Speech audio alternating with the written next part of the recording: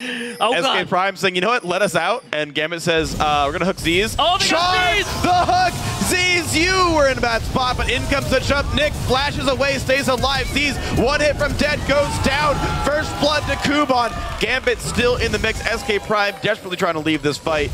Not what they wanted at all. The charm, the very tip of it, They re-engage on the tanky Thresh, though. This is not good. A second kill is picked up. Two for one so far. Okay. Lane Ward says no. Watdefox, though, on the wrong side of the lane, gets reached. The slow is there. He Watdefox has flash. Charm has to flash away from that one. No, there isn't.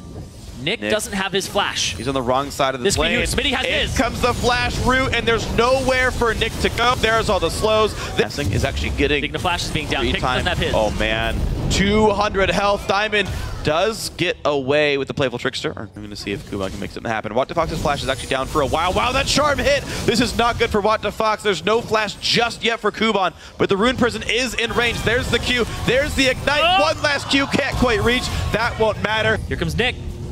Level 6 Ahri, 300 health Braum. He does have flash. He has exhaust. Summoner heals up as well. Charm's gonna come in and gets it. Exhaust not gonna be enough. Diamond gets the kill, and now Zyzz stuck a little bit. But Smitty. J comes in. Kubon's gotta be real careful. He does have flash, but he's locked up for too long. Kill picked up What by the coming? Maokai. Now Diamond is low. Flash away from the rocket jump. There's a lantern that no one wants to take. Watdefox a little bit far away. niQ gets to be seen in this fight. It's Smitty J and a 1v2. He's taking a lot of damage from Kubon and Diamond. Knocks him back. Not gonna matter. Got it. Where's the fish? Fish comes out, does not catch anyone though. Kristen flashes out.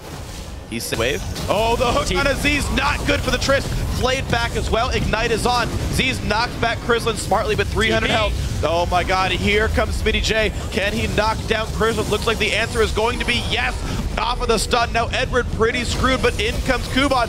Edward still though about to go down, burns the flash, might just get out, and in comes Diamond, but the rocket jump keeps him safe. And uh, now Watdefox has shown up the double kill for Smitty J. He falls under the turret to Kubon. Diamond now forced to run. In comes niQ. These goes down, and niQ could go massive here. Tries to chase down on the Talon, can't quite do it. Misses the charm on Zyta. And then Talon shows up, zones off Kha'Zix. That allows Zyzz to come back forward. Ahri shows up, says, oh, there's Zyzz. Goes straight after him, picks him off, and will go down. The shark doesn't matter. Now Kubon also gonna fall. Two for zero. Double kill for SK Prime's AD carry. Mid lane under fire now. they're gonna go straight for this middle turret.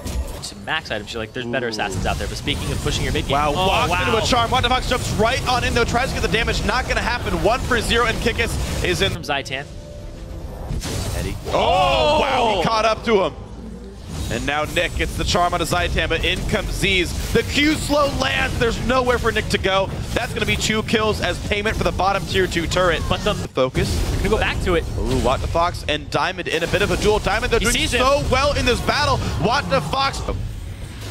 I, I want to know how much this damage does scale up. Smitty, gotta look for the ah. route onto Krislund. Zytan shows as well. Zyzz in the mix. Good flash by Krislund. The knockup will not land. and here comes Kubon. What can he do though? It's a bit of a two on three as the team comes to reinforce a bit later on. Stun lands. Krislund will go down one for zero. The box doesn't mean too terribly much. Edward Neff, hey, I mean, it, Oh, They work. Looking for a pick here. Oh, wow.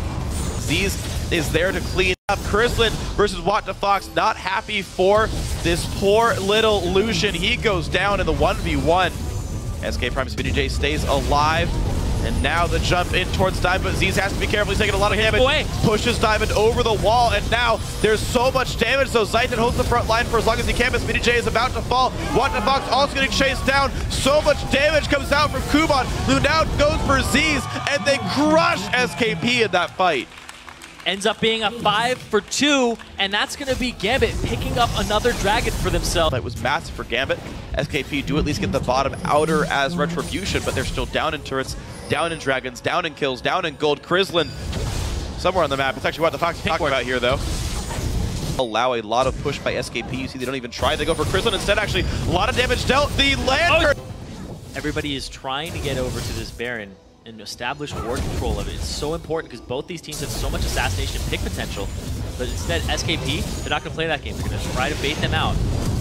The flash engage. Zytan They got niQ. niQ. Doesn't get much more. Lanterns out. Fish comes in for Kubon. This could be good. They blow up Ryzen. Zyzz survives. He kites Oh. the wave. niQ gets the kill though. Now Diamond on the chase. Kikis tries to survive, but he gets crushed down by Krislund.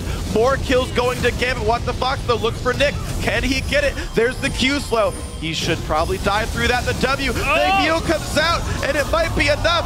Zytan dies through Charm. Watdefox forced to run. It's a three for two in Gambit's favor. He got away. niQ got away, and Smitty J, he's trying to do the same. Charm doesn't hit. Oh, go back in. goes Watdefox. Doesn't do enough though. There's the kill for niQ. An ace for Gambit. They go back and forth, and they leave with three members with flashing. Gambit, man, up 5,000, about to be closer to 7,000 as this goes down. Nicely. His Elder Lizard, and now he's going full tank. Yeah, he went for cooldown boots for the extra spam ability. Zytan gets blown up over the wall. Krislund takes him down. Now into the base they go. Inhibitor turret under fire. Gambit doing what they can. niQ just pushing forward. He feels so safe. Gets a shield from Edward for good measure. Inhibitor now going to die. It's a 5 on 4. SK Prime cannot contest this. Gambit Gaming niQ blowing them up over the wall with the help of Krislund. That's going to be the turrets being down at this point. I don't know if they can quick close the game out. They've got minions coming in soon. Fox in the wings. Will he try to fight this? Goes He in for is. Diamond. He is not Oh. the right oh! target. He gets exploded. Down goes the Talon. Fight begins. Smitty J dies in the middle of the front line as well. Three more kills picked up. Only Kick is alive. That is not the fight SKP wants. This will be a Gambit taking game three. SKP pretty much just throwing themselves on the sword. That is Gambit Gaming at this point. Accepting their fates and just going hard and not getting anything for it. Another kill as Zytan revives. Nexus goes down. Gambit now one game away from rejoining the LCS. And you can see the relief there from Kubon. It's like, just one more.